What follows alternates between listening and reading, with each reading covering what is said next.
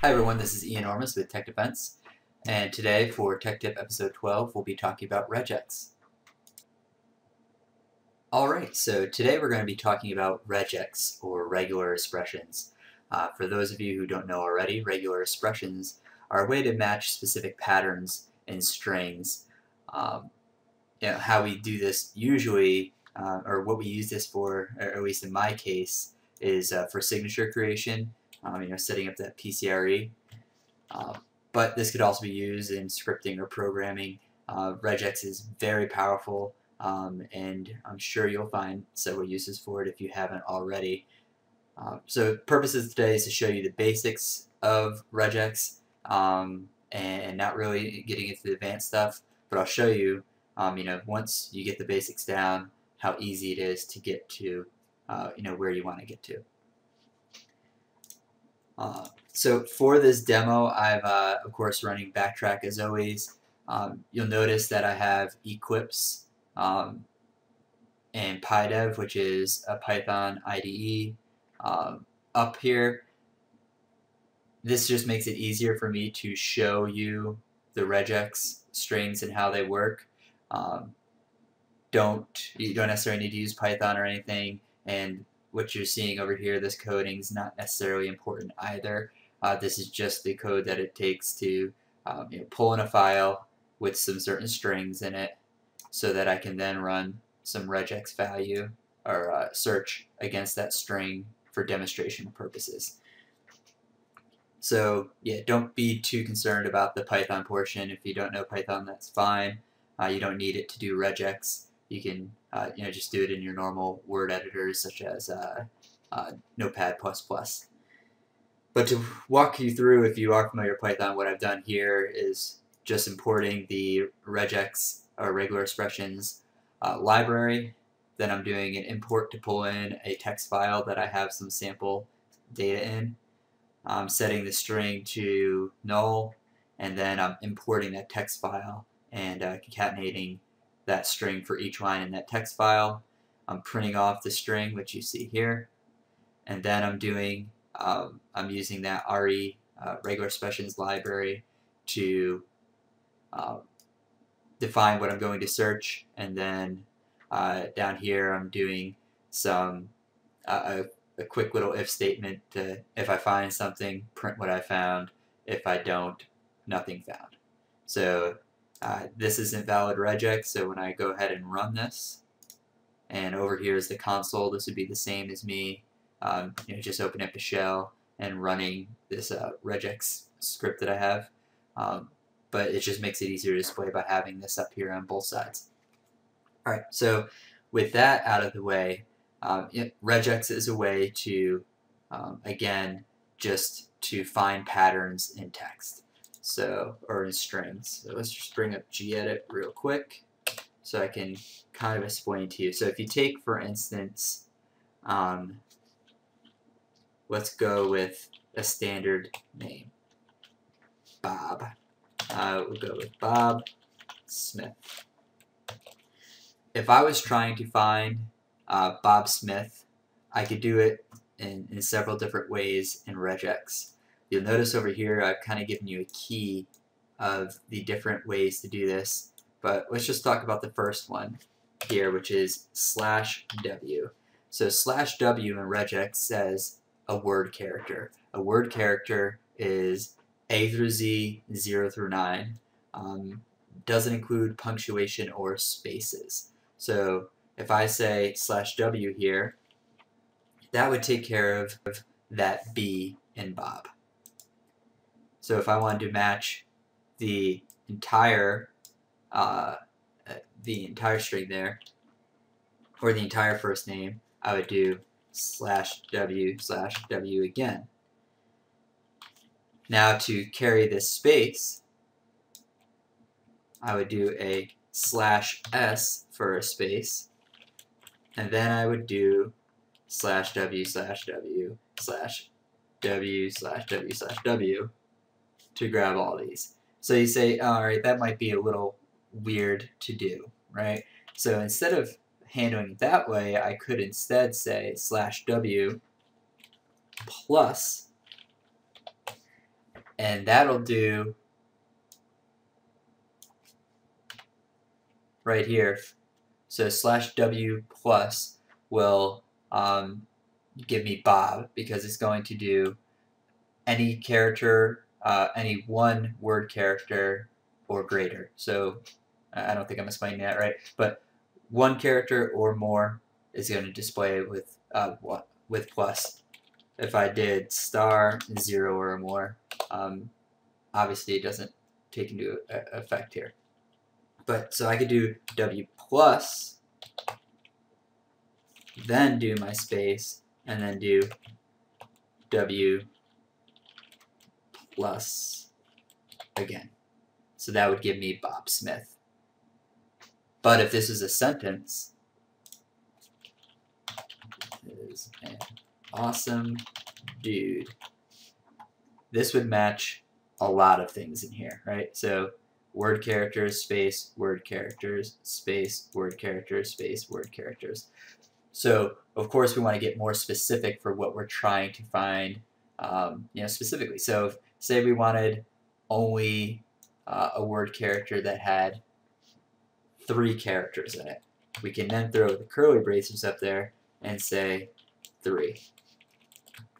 If we wanted a word character there that was one, two, three, uh, a one, two, three, or 4, let's say, we would do 1 dash or a comma 4. So that gives us our range there. So let's do this in a more interactive way. So here you're kind of seeing um, me telling you what it is here, but let's actually try to match this against some stuff. So let's go ahead to my example file. So the example string is here. So example.text, and this is what it prints out to to show you. This is it here. Hi, my name is Ian Enormous. My number is 555-555-555. My address is 123 Internet Lane, period. Um, and then I just threw another phone number in here um, just to give us something else to look at. So that's what this string is. So when I run this program, Nothing found because I have no regex to find here. So say we wanted to pull out um, enormous, right? And we know, you know, specifically what that's going to be. In uh, Python, I have to put everything in between um, the quotes. Depending on what language you're working with, you may or may not have to do that. Sorry, and then we don't want to do it down up there. We're doing it down here. So, so enormous, so we look at the characters one by one. So the first character is a 1. That's a digit. So I'm going to put a slash D there. And then I'm going to say the next character is a an A. So, so we're going to do a slash W because that's a word character.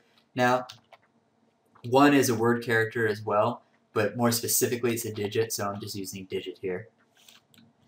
So then we have, again, um, a particular word character. We have n. And then we have a digit again. And then we have a word character, a word character, M, U, and S, right? So we could do this, and this should pull enormous, right? So string found enormous. But we could do this with less as well by saying word plus and word plus here. And we find enormous still. So uh, so so this is you know, there's many ways to skin a cat in, in regex. So this is you know one method of pulling out you know this particular thing that we want to pull out.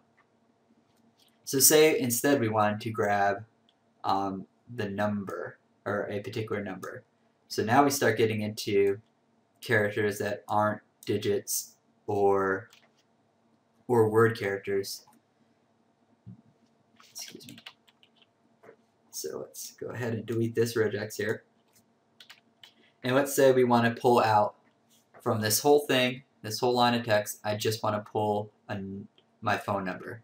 So we're going to say a, a number is a slash digit range three characters slash um, so we could do a slash dash here or we could do a dot. A dot means any character. And I didn't explain all these yet so I should probably just go through here real quick. So slash W is a word character. Um, a capital W is not word character. So when you start seeing D, capital D, the D is always the not of whatever that value is. Uh, so D is digit, um, S is space slash S, capital S, not space.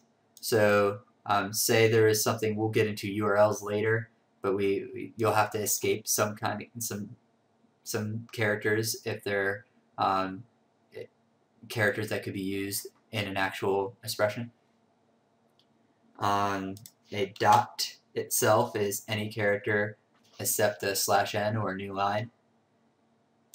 Piping will give us a, an or, so we can start um, you know, applying a little bit of logic in here. And of course, the curly braces are range. Now, this is not all of the different syntax that can be used. There's plenty more, and there's a few cheat sheets out there if you do a Google search real quick on that.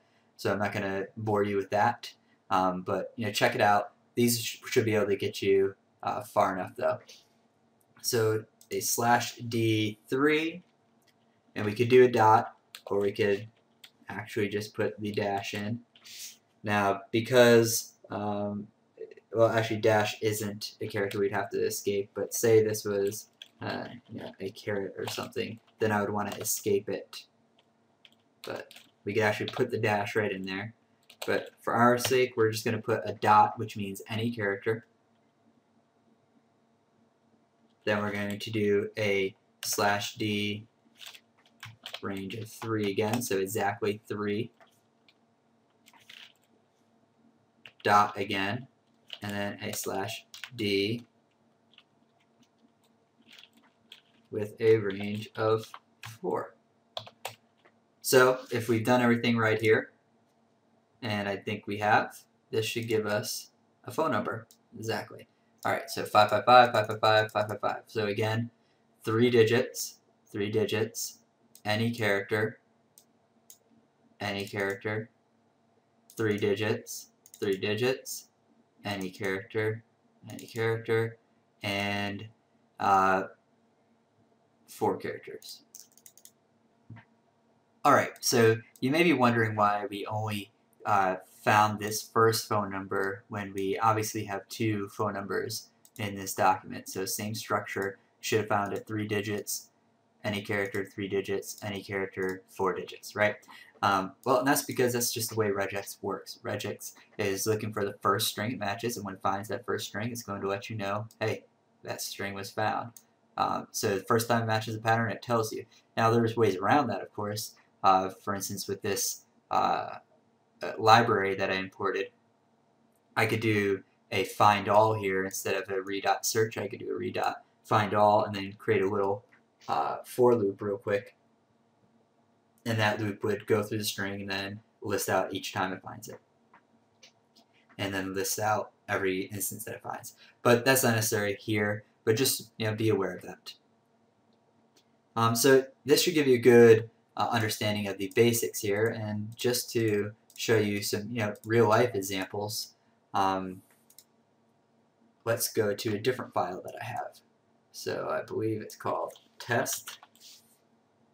Let's run that real quick. Okay. So here in test are three things that I uh, had to recently create signatures for. So to walk you through how you normally do this, of course I added some junk to the beginning just so we could uh, you know, have some fun matching this. Um, but uh, some of you may recognize this as the uh, Black Hole Exploit Kit 2. But this is some specific things that have been noticed with this particular uh, variant, right? So got to create signatures for these. How would I go about doing that? So go through the normal signature creation process. You're, you're going to, uh, of course, probably use Snort and use match on URI since these are all URI based and all that fun stuff. But let's just talk about the regex right now. So let's go ahead and delete this. And let's say we want to match on this guy here. Um, now, I didn't have to do that for the signature that I was creating because this is never going to change, right? So I can put specific values in because uh, there's no uh, there was no method where this was going to uh, be modified at all. So uh, what you can do is, and let's match from the forward slash to the dot PHP. Okay, so I'm going to escape out the forward slash, and then I can actually just straight out type forum, because again, it's not going to change. So I could have done word uh, W plus there if I wanted to, um, or, or something like along those lines, but not necessary. So now again, we're going to escape out the forward slash, and I can again just type links straight up, and escape out the forward slash again, and of course we know column slash dot um, and the reason we're doing a slash dot here is because dot is any character, right? Slash dot is the actual period itself. Um, PHP. So if we've done this right, this should match on forum link column.php. So let's show you with with this one because now there's some randomization involved. So as you can see, the uh, it's always going to have this structure where it's forum, themes, core, images. That's always going to stay the same. But the exe is going to randomize. So I want my string to flag no matter what, as long as it's uh, exe in this structure. So we can actually keep the forum there, and we'll start from there, because we're going to match from the slash forum on. Alright, so slash forum, um, so we escape that our forward slash again, and again we can straight out type themes because that's not changing. If this was just going to be some random five character thing, we could of course do our W5, right? We could do that, but it's not in this scenario. It's going to be themes and we're going to escape out our forward slash again, do core, escape out forward slash again, images, escape out forward slash again, and here's where we have to do something random, right? So we know it's going to be word characters. So again, word characters A through Z or uh, 0 through 9. And then we know there's going to be a period, so we're going to escape out our period because again, just the dot by itself is any character and we're going to say um, .exe because we're looking for specifically .exe. Now we could make this any three character extension if we wanted to, but for our purposes here, it's .exe that we're looking for. So let's run this. Hopefully I've matched that correctly. Nothing found. Alright, but so let's see where we screwed up here. So we did our forward slash form, then we did our forward slash themes, and it is case sensitive, forward slash core, forward slash images, images, oh, forward slash, and I forgot to uh, uh, throw the backslash W. So this is looking for the actual characters W plus right now. So if by putting this backslash in here now, I'm telling it to look for word characters plus, so one or more word characters. And then slash dot, so this should work. Alright, so there we go. Now we have our thing. Alright, so um, that gives you the basics of regex, and uh, hopefully that gives you a good understanding of, of what is going on there and how you can proceed to use the language or use the uh, syntax for yourself. Um, to show you where I'm using it recently and why it's become uh, something I wanted to show you is because I've been creating a, a script um, and here I'll quickly show you what it does. So creating a script to do you know, something I do every day, right? Uh, suspicious IP pops up or suspicious suspicious URL pops up and that I want to look up more information on, right? I want to get who is information. I want to get, uh, uh, you know, does that IP resolve to any other domains? Is it blacklisted? Stuff like that. So I wrote this little program, uh, this Python script, to start looking up those stuff. Uh, I didn't finish it yet. I haven't got everything. As you can see, I only got some of it. But just to give you a quick demo, and right now it's looking for whatever I put in here um, but when I uncomment the raw input out, it would you know, ask you to input an IP. So when I run this, oh, let's actually run this one, not the other one. You run automator. There we go. So you can see when I'm running, it's looking up this IP address, and it finds that this IP address is associated with these domains. It is listed in one blacklist here, and uh, the ISP for that IP is server boost BV. So how am I doing this? So I'm using Python, of course, and I'm using two libraries. So I'm using httplib2, which allows me to download uh, and manipulate and uh, you know, do whatever I want to with URLs, right? And then I have RE, which is the regex library, which I was just showing you over here in the regex script. So what I'm doing is pulling down uh, for this portion, querying robtex for whatever IP input, IP input is here, doing a GET request for it, and then taking that and converting it into a string. And then I run this regex value against it. So I'm looking for um, a space, bracket, uh, any character, 1 to 20 character or, or uh, 1 to 20 characters in length. And then these right here are used to pull out the specific information I want, right? So I don't want the um, HTML tags but I want to match on the HTML tags. But this means I'm only going to display what's in between here. So not trying to get too deep into it. And then of course down here you'll see that I'm um, using some rather large regex strings to pull out stuff from IPVoid. And then here are some of the other strings I was playing around with earlier to get the specific stuff I wanted to pull out. So very interesting stuff. Um, if this uh, or any of this is stuff that you want to see more of, let me know, of course. And if you want to um, you know, get access to this code, let me know, and I'll find a way to make that happen. Um, so like always, go to tekdefense.com if you want to see more like this.